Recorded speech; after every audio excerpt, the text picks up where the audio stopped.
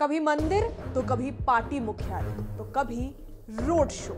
मुख्यमंत्री अरविंद केजरीवाल इक्यावन दिनों बाद तिहाड़ जेल से निकले। उसके बाद उनका चुनावी अभियान हर दिन तेज होता जा रहा है। तल्ख तेवर और तूफानी अंदाज में वो लोकसभा चुनाव 2024 के प्रचार प्रसार में खुद को झोंक चुके हैं। हालाँकि अब जो मुख्यमंत्री अरविंद केजरीवाल ने मोदी सरकार पर आरोप लगाए हैं, वो सवालों की घेर नमस्कार, आप देख रहे हैं न्यूज़, मैं हूँ आपके साथ रंजना उपाध्याय।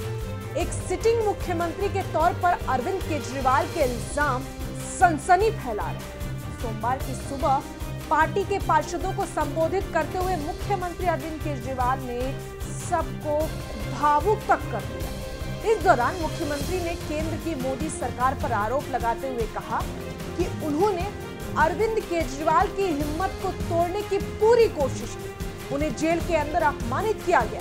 उनकी बेइज्जती हुई। ऐसे में सुनिए, अरविंद केजरीवाल ने और क्या कुछ कह दिया इन्होंने पूरी कोशिश की जेल के अंदर केजरीवाल को तोड़ने की।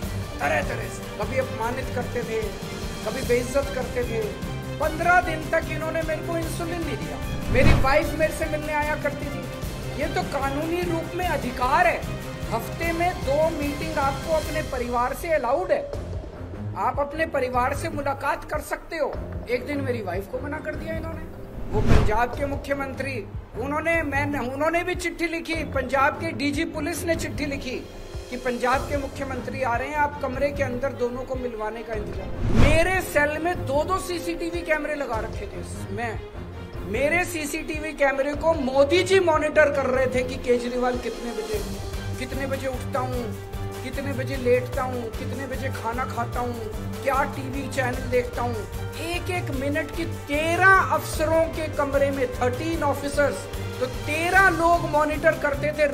आपने अभी भी सुना कि मुख्यमंत्री अरविंद केजरीवाल ने देश के प्रधानमंत्री और उनकी सरकार पर कई गंभीर आरोप लगाए। ऐसे में आप इस पूरे मामले पर क्या कुछ कहेंगे? कमेंट में लिखना ना फ़िलहाल के लिए इतना ही। देखते रहिए न्यूज़। धन्यवाद।